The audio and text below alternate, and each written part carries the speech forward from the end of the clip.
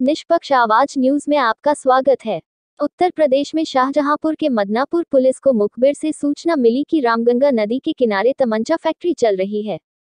रामगंगा नदी के पास तमंचा फैक्ट्री संचालित होने की सूचना पर पुलिस तुरंत हरकत में आई और भारी फोर्स के साथ तमंचा फैक्ट्री पर छापा मारा। पुलिस ने तमंचा बनाते हुए एक शख्स को रंगे हाथों गिरफ़्तार किया।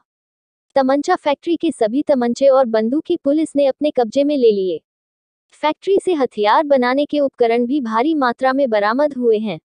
मदनापुर पुलिस को रामगंगा नदी के किनारे बरुआ के डब्बर में चल रही तमंचा फैक्ट्री से एक अवैध राइफल 315 बोर, दो तमंचे देशी 12 बोर, दो तमंचा देशी 315 बोर, दो तमंचे अधबने, दो ज़िंदा कारतूस व दो खोखा कारतूस 12 बोर, दो ज़िंदा व दो खोखा कारतूस 315 बोर, आठ नाल व शस्त्र बनाने के तमाम उपकरण मिले हैं।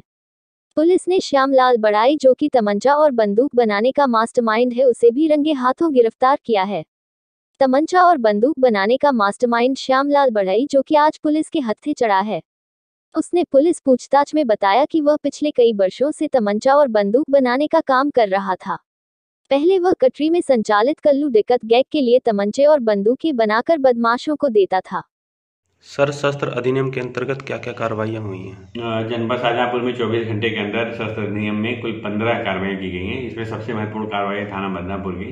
बदनापुर में अवैध शस्त्र की फैक्ट्री बरामद की है, जिसमें एक व्यक्ति गिरफ़्तार किया गया, श्यामला जो गड़िया रंगीन का रहने वाला।